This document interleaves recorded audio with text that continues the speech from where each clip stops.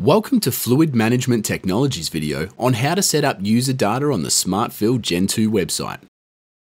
If you need to have your drivers enter more than a simple job number when dispensing fuel, then you will need to enable user data entry.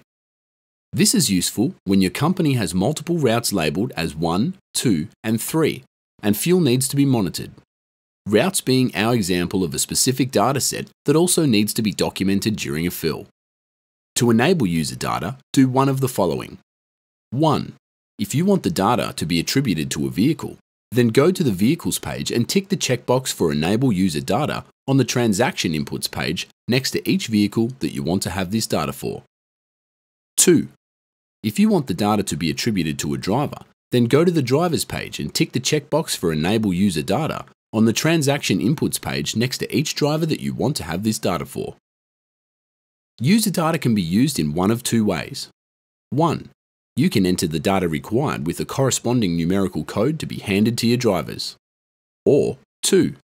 Not have any user data in the list at all and allow free-form entry by your drivers. They will still be required to enter something, but it will not be checked in any way.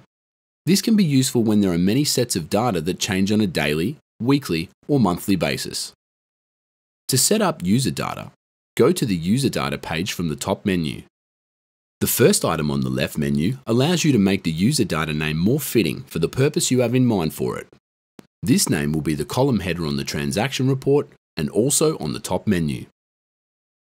The Definitions menu will show you what data has already been created and allow you to add more data to the list. To add more data, just click the Add button and add a numerical code and a description of the data. Remember, if you want to allow free-form entry, then this list has to be empty.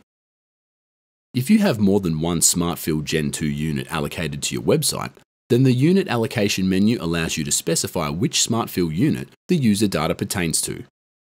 Thank you for joining us for this short video on how to set up user data on the SmartFill Gen 2 website.